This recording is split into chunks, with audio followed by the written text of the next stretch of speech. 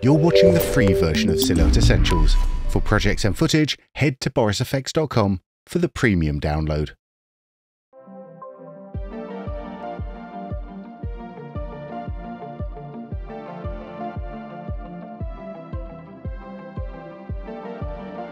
Okay, here we are back in our project. And as I said at the end of the last section, we're going to be focused on the node tree here. So let's actually give ourselves a little bit more space to, to be focused on the node tree. Because as we start to build up more complex projects, it can be easy to lose yourself in the tendrils between the nodes. Even if we did a little bit of rearranging, which is what I'm going to do here,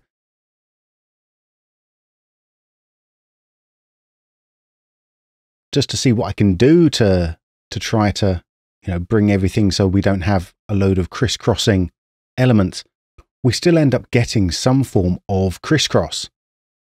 And there's a few ways that we can work with this, and some of these secrets are found in preferences. So if I go into preferences now, and let's take a look at the user interface. And down at the bottom here, we have our focus on the trees area. So we can change things like the background color, the connection color. I happen to like how these are at default, but we can also choose things like the connections, whether they're curved or straight. Let's hit apply on that. So we can just get uh, big straight connections there. And we can change things like group color, node color, and also input order here. So at the moment, we've got foreground and background as our preferred input order. I can also go background, foreground, hit apply on that. And that could help to, to clean up some of those elements there. Personally, I actually usually use background and foreground for reasons lost to the passage of time, but to keep things a bit more ordered as you skip in and out of these tutorials, I'm just going to leave this at the default value of foreground background. Bloop, there we go. The other thing we could do is change our layout from vertical to horizontal. So you can see there the inputs are shifting over onto the side. This works better now if we have our trees down uh, at the bottom, so we have a longer space to uh, to work with them. But again, I'm going to keep this at the default value of vertical. Hit apply on that and OK. Now we do have ways of organizing these as well. We take a look at our nodes and go into our utility. We have things like dots, notes, and nulls. A null node just passes the values straight through. So it doesn't do anything in the middle there. This can be good if we're looking for something like a placeholder, for example, and we can change the name of any of our nulls down in the node parameters down here. Placeholder. Let's get rid of that. The other things we've got are dots, which is like a null node, but just in dot form. Take a much deeper look at that in 30 seconds. And we also have our notes as well which we can use either to write ourselves handy little memos, or we can use these as backgrounds to mark out different sections of the trees as we're working on them. I'll leave my note over here just for now. So let's take a look at this tree one more time. We have multiple inputs coming from this one piece of footage. This is our main piece of footage. It's going into the roto. It's going into the background of the math composite node and it's also heading into Mocha Pro. Let's try to organize this a little bit more using dots. If I hold down the Alt key, you can see my cursor changes. And as I move over a connector, you can see it lights up. So if I Alt click on a connector, it's going to add a dot node between the two nodes it was working with. If I hold the Alt key down again and hover over the top of the dot, you can see we have our input and our output.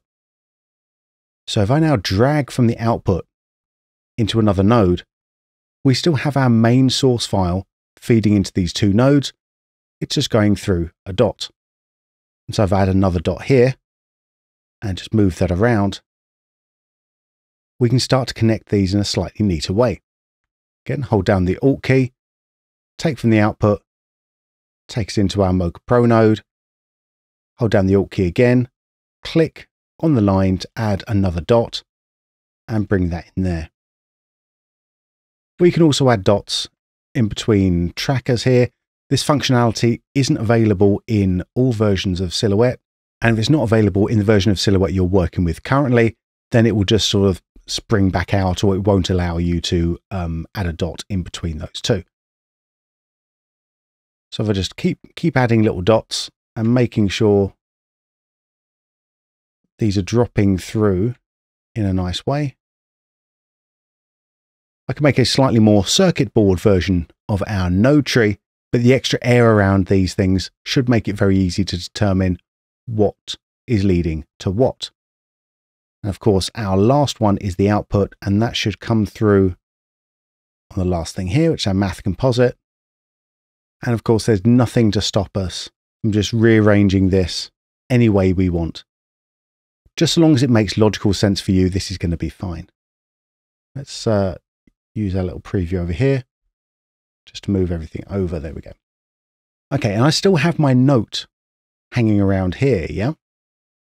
Well, let's bring this note over the top. We should say underneath even. Let's bring that around about there. Here's how we can start to add reminders or break things up a little bit using my notes. So if I just have the note selected, this is called note one. And if I type in the note, I'll call this one, I call this one power mesh hand. We can see that gets written up at the top there.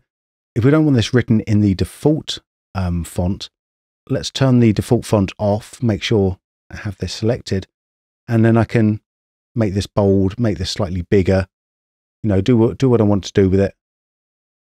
So we can see this is definitely going to be my power mesh hand.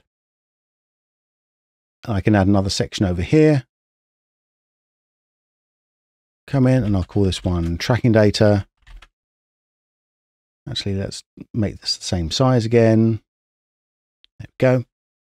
So we can start to build up little sections, little reminders, and this will make more complex trees easier to digest. One other thing that's going to make this easier to digest is going to be in our options here. And these options are available for every node.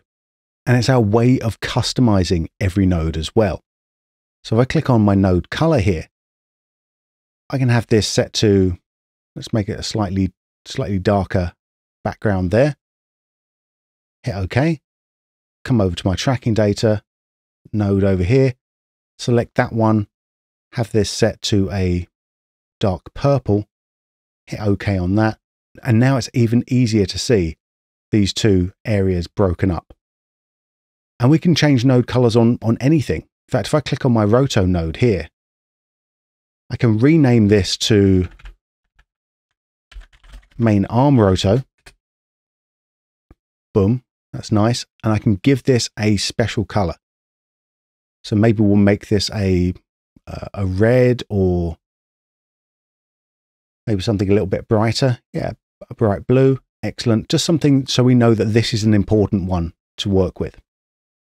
And just as we saw in the preferences that we could change the layout from vertical to horizontal, we can also do this on individual nodes as well. And this probably isn't going to make much sense for this particular flow, let's set this to default again. But this can actually be really, really helpful if we need to chain nodes together in a sort of horizontal fashion.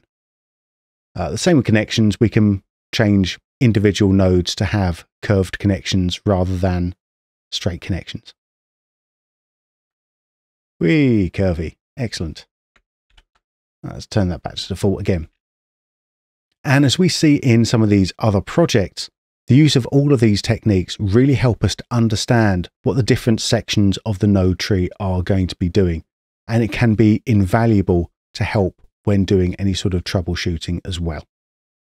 Now we have our tree arranged all nicely, it's time to carry on with the proper work of finishing up our composite and we're going to look to start blending things together a bit more naturally in the next exercise. So take another well earned break, and I'll see you in just a little while.